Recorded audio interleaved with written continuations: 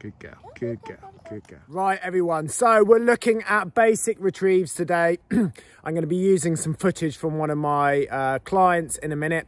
I just wanted to talk over a few things that are really, really important. Now, when you first start retrieving, you want to limit the space that your dog has available for it to do a retrieve. It's not about how far out it goes, it's about how it comes back. So if it doesn't have to go so far, you'll generally uh, end up with a clean and retrieve.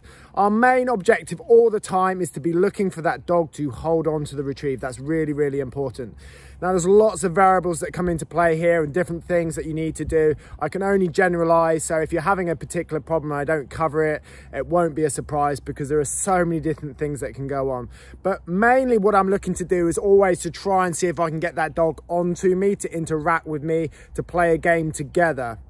If your dog's got toys externally from when you do retrieving, i.e. when it's in the house, don't be surprised if that is hugely damaging towards your retrieve. So I really like to take any external toys away and then the only game is the game that you play together.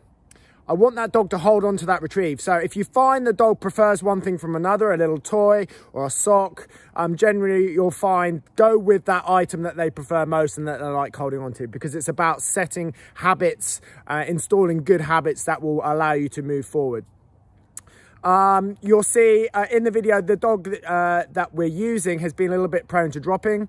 What you find is when you try and smother a dog, it often wants to push itself away from you. So you have to sort of uh, balance a lot of different things going on at once. It's quite an organic thing when you first start teaching a dog to retrieve. It can be quite a tricky thing and it's probably one of the number one things that I come up against with clients. But as I said, main thing is we want that dog to hold on to the retrieve. We want that dog to be coming into us. We want to minimize distractions, minimize space that the dog has available for it to do when it's doing the retrieves and you want to use something, as I said, that the dog likes. My main objective is that dog to hold on. So if it means that you can't get the dog on you at the beginning, I'll take that. If it's on the ground in front of you, having to rub its back, trying to keep that dog's head up, You'll see lots of examples of that in that in this next bit of footage.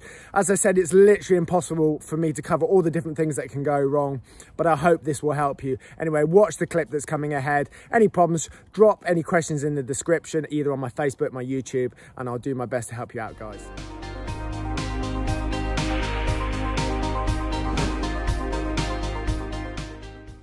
Right, so here we are with Vicky with her young cocker bitch, and our main objective today is just to have a little bit of fun and try and get this little dog to carry on holding on to the retrieve. You'll see straight away uh, the pup has come back, and Vicky sort of uh, tried to get the dog up onto her. Now, ideally, what we're looking to do is get that dog's front feet on her chest and her back feet on the floor behind her. You're going to see there she's going to take the retrieve, then she's going to pop the dog underneath her left arm.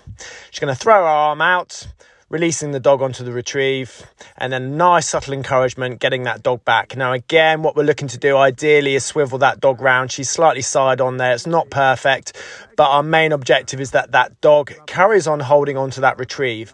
That goes above everything else. Now, here I said to her, just give the dog a little bit of a rub at the back end. Don't make the dog think you're immediately trying to go for that retrieve, and then slowly manipulate her around. If she thinks the dog is going to get let go of the retrieve because she's holding it maybe by the edge, I say just take the retrieve and say dead. That way the dog hasn't done anything wrong. So here we go again underneath her left arm. Going to throw the retrieve out in a moment and then throw her right arm out as a release. That will come into play a bit later on. Bit of encouragement. Back she comes again. Front feet on her chest, just asking her to manipulate around. That way we'll try and keep that head up, and that way we stand a better chance of holding onto the retrieve. I'll generally say left hand lead, right hand retrieve, and then you take the retrieve away. And then we go again. Here we go underneath the left arm, release with the right arm, bang, out she goes. A bit of subtle encouragement.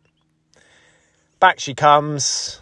Once again, front feet on the chest. That's the ideal scenario. But always, I want the dog to hold onto that retrieve. And if it means the dog having its feet on the floor, like here, and she's just interacting with her back end, rubbing her, letting her know that it's okay Trouble is, when you try and take these retrieves too quick, they tend to want to drop them.